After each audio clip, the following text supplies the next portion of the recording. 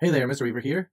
This is Module 3, Lesson 3, Linearity and Continuity of Graphs.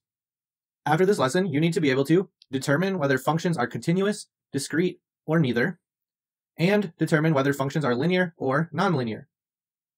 Let's learn discrete and continuous functions.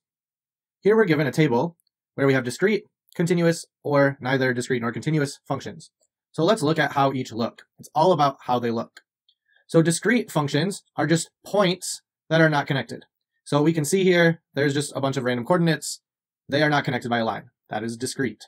So when we figure out our domain and our range, they are going to be individual values where it's going to be the numbers listed out. For continuous functions, it might have some dots to begin with, but they are going to be connected to form either a straight line or a curve of some sort. So here we can see that we have a line that is drawn. If it's a function and it's continuous, your domain is going to be all real numbers. Or sometimes you might see that as like negative infinity to positive infinity written like this. Or you might see it written like, oops, that should be negative. Or you might see it written like this. Two different ways to mean the same thing. It just means all the numbers from negative infinity to positive infinity, and it's an x since we're talking about domain. Domain is your x values.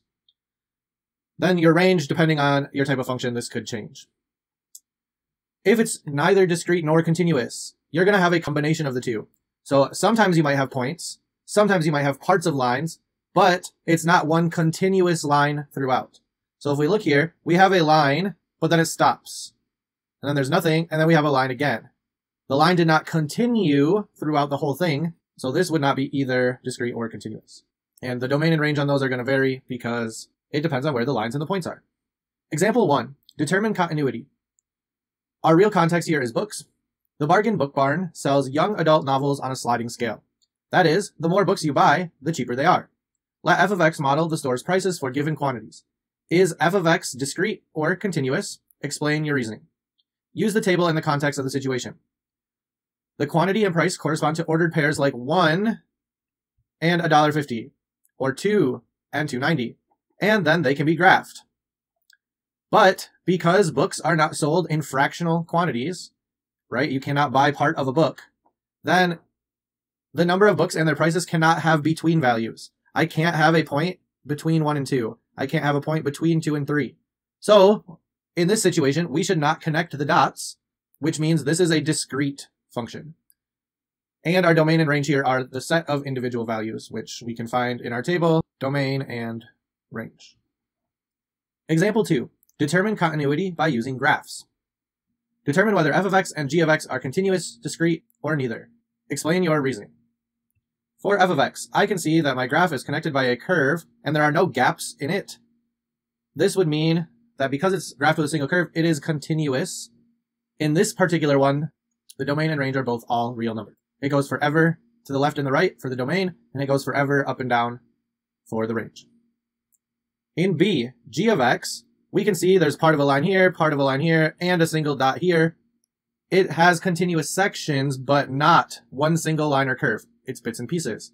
So this would be neither discrete nor continuous, and our domains here would just be intervals of values based on what is given. Check your understanding. Determine whether f of x is continuous, discrete, or neither. Pause the video now and complete the check.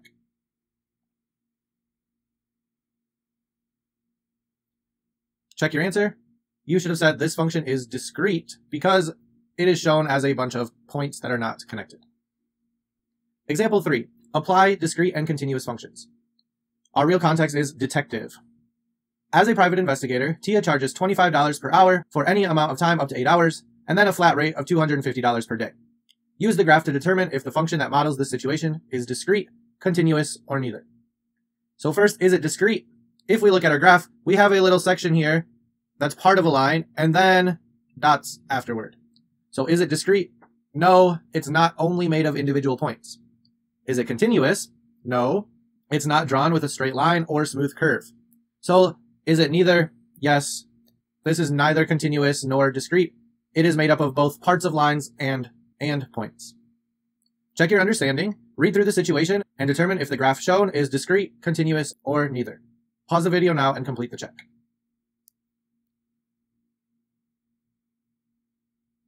Check your answer. You should have said this function is continuous. It is drawn with a smooth curve that keeps going up and down, but there are no gaps in the curve. Let's learn linear and nonlinear functions. A linear function is a function that has a graph that's a straight line. For linear functions, if the domain of the function is all real numbers, then the function is continuous. We could have a linear function that was discrete. It would just have a domain of individual values. A linear equation can be used to describe a linear function. And linear equations are often written in standard form. There are also other forms of linear equations, which we will learn in Module 4. Our key concept here is standard form of a linear equation. So the standard form of a linear equation is ax plus by equals c, where a is a positive number, a and b both cannot be zero, and a, b, and c technically should not have a greatest common factor other than 1. So, some examples, we could have 2x plus 5y equals 7. We can see a is 2, b is 5, c is 7. This is a linear equation that's in standard form because a is greater than 0, a and b are both not 0, and a, b, and c do not have a greatest common factor that is greater than 1. So that is in standard form. In our second example, we have x equals negative 3. Here, this is really just written as 1x plus 0y equals negative 3. So the number out front is positive, a is positive. a and b are not both 0. b is 0, that's fine, as long as they're not both 0. And then a, b, and c, again, don't have a greatest common factor other than 1. So even though it doesn't look the same, this is also written in standard form. And we would write it more like this if we wanted it into the standard form that is shown here. A nonlinear function has a graph with a set of points that cannot all lie on the same line. An equation that represents a nonlinear function cannot be expressed in that standard form. The function values of a linear function change at a constant rate, and this is going to be important to see. Linear is a constant rate for equivalent changes in x values. The change in the function values for a non-linear function will vary, so they won't be the same every time. And we'll see this in a future example. Example 4. Linear and nonlinear functions. Determine whether y equals 4x squared minus the quantity 2x squared plus 3x minus 5 is an equation for a linear or nonlinear function. We're going to look at two ways to tell. One, doing it algebraically as shown here, and then we will look at graphing the function on Desmos. So step one, simplify the equation. We're going to attempt to get it into standard form. If we can get it into standard form, then it's linear. If we cannot, it's nonlinear. So simplifying first, 2x quantity squared is 4x squared. 4x squared minus 4x squared is 0, so we're left with 3x minus 5. Now we're going to rewrite that into standard form, first by subtracting 3x from both sides. Then we're going to multiply each side by negative 1, so essentially multiplying that whole thing, and we end up with 3x minus y equals 5. Is that in standard form? We have a is 3, b is negative 1, c is 5. It is written in the form ax plus by equals c, so the equation that we started with is linear. In Desmos, if I type in my function, I'm just going to look at what the graph looks like. A linear function has a graph that is a straight line. Is that what happened here? Yes. This graph made a straight line, so this is a linear function. Check your understanding. Is the function shown linear or nonlinear? Pause the video now and complete the check.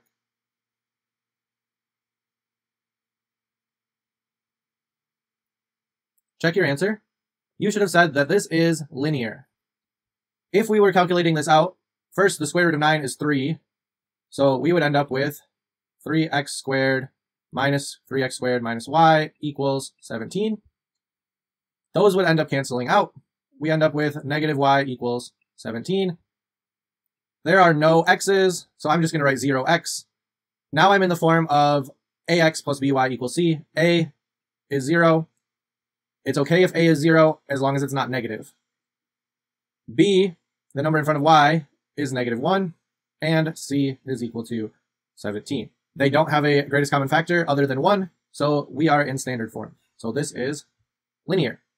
You could have also typed that function into Desmos and saw that it gave you a graph of a straight line. Example 5. Identify linear and nonlinear functions. Determine whether y equals 3x to the third power minus x to the third power plus 3x plus 6 is an equation for a linear or nonlinear function. We're going to follow the same process and attempt to get it into standard form. So when I simplify the equation, I have some like terms. They both are x to the third power. So 3x to the third power minus 1x to the third power is 2x to the third power. I can't do anything further than that. So now I'm going to try to rewrite it in the form ax plus by equals c. So to do that, I would subtract both of these things from both sides so that I get my c value on its own, which is 6. Then multiply by negative 1 to make that x value positive, and we end up with 2x to the third power plus 3x minus y equals negative 6. That is not in the form that we need, so this function that we started with is non-linear. Again, if we go into Desmos and type in our function that was shown, we're looking to see is it a straight line. It looks pretty straight, however, right here, there is a little bit of a place where it curves ever so slightly. So it's not a perfectly straight line. This is non-linear. Check your understanding. Determine if the function shown is linear or non-linear. Pause the video now and complete the check.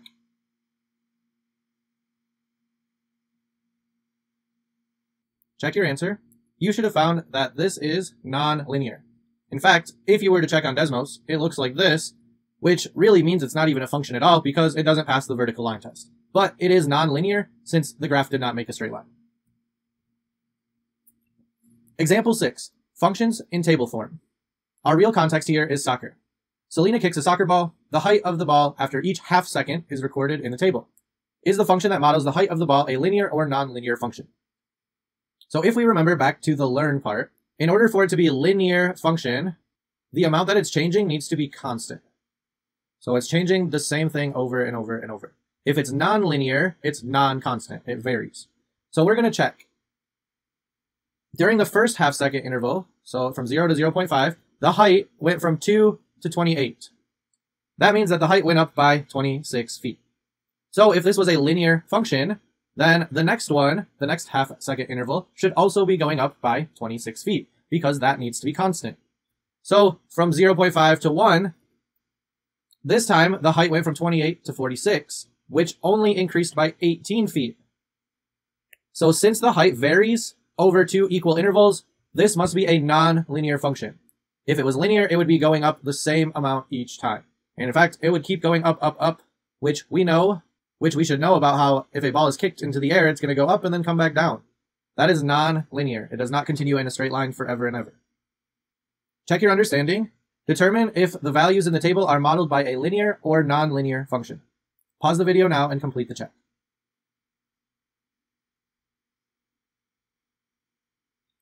Check your answer. You should have said the first table is linear while the second table is non-linear. Be careful on this one. We want to check equal intervals. So if we notice the x value here, negative 1 to 0 is going up by 1, but 0 to 2 is going up by 2. So let's check 2 to 3, because that's also where it's going up by 1. Then on the other side, how did it change? It went up 3. And then our other one, how did that go? Also up 3. 0 to 2 did still follow the same pattern. It just went two spaces and if we went up two spaces, then it also went up three and then three. So this is linear because it's going up the same amount each time. The second one is nonlinear. Here we have a couple right next to each other that are easy to check. So negative one to negative eight, that went down seven. But in the next second, it went from negative eight to negative 27. That's down 19. Those are not the same amount. So it would be non-linear. Similar to checking our equations to see if they were linear or nonlinear, I could also use Desmos. So if I type in and go to add a table, I can type in my table values and I can check to see if they are going in a straight line. If we're not sure, what you can do is click and hold on the dot and then turn the line on and you can check and see, does that make a straight line? This one, yes, it did.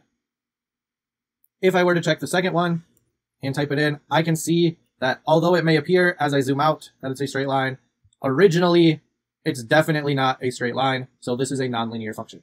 Again, I just typed in the table and saw what it looked like. Example 7. Identify linear functions by graphing. Our real context is pool.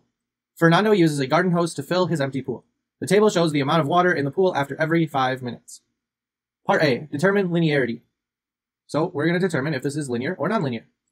The amount of water in the pool increases by 60 gallons during the first 5 minutes right? It was an empty pool, so when he started, there was no water in it.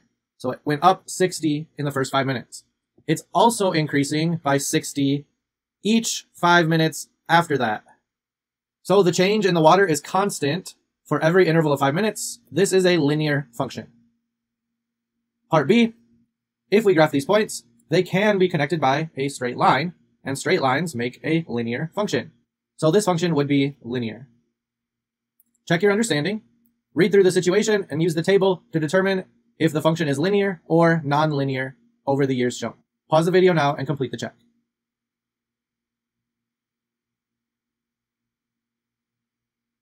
Check your answer. This one, if we're looking, if it's constant, so there's a one year increase, there's a one year increase, there's a one year increase. So if this was a constant, we would be going up the same amount every time one year passes.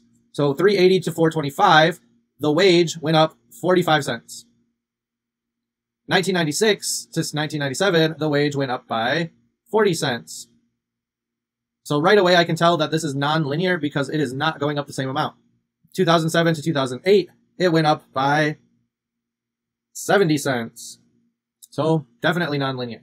So let's read through and determine which it is. The function is linear. No. The function is non-linear. Maybe. The function is linear. No. Function is non-linear. So let's see which of these reasons there was a 45 cent increase between 1990 and 1991. Yep. And 70 cents between 2007 and 2008. That is what we showed here and here. So B, that is our proof that it is nonlinear. It did not go up by a constant amount. And for D, although this function is discrete, that is not necessarily our reasoning for it being nonlinear. We could have a discrete function that makes a straight line with the points, we just wouldn't connect them. So being discrete is not a criteria for linear or nonlinear.